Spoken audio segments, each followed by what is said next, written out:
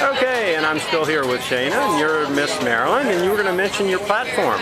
Yes, my platform this past year has been the importance of music education and support of the arts.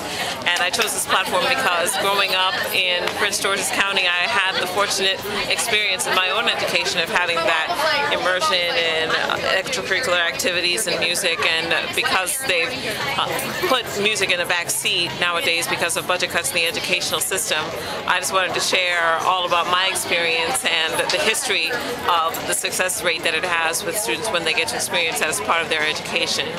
And Try I put to make together, sure it's more of a priority, really. Exactly. It's got to be a priority because not only does it enhance their academic um, achievement and their social capabilities, but it also gives them another chance, just like me, to find out another talent that they might be able to use as something that they might want to take as a career path. So we should never close off doors of opportunity to our um, to our young people because I mean like we always say, they are the future. That's just the way it is. education. Exactly. Well-rounded education makes a well-rounded individual. Yeah, great. Well, thank you. And thanks for your service.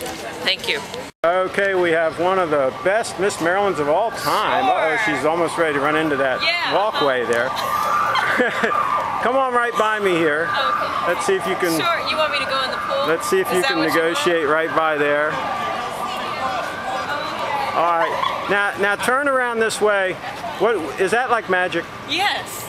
It feels like a magic carpet, right? It does. Okay, come on right by I'm me a here. Pro. I should have gotten some pictures. See, you're not screaming at all. yeah. You're doing great. I'm a veteran. Whoops. That's what it is. Okay. And your husband, that's what happens. Oh, right, right, right. Okay. this is cool. Thank you so much.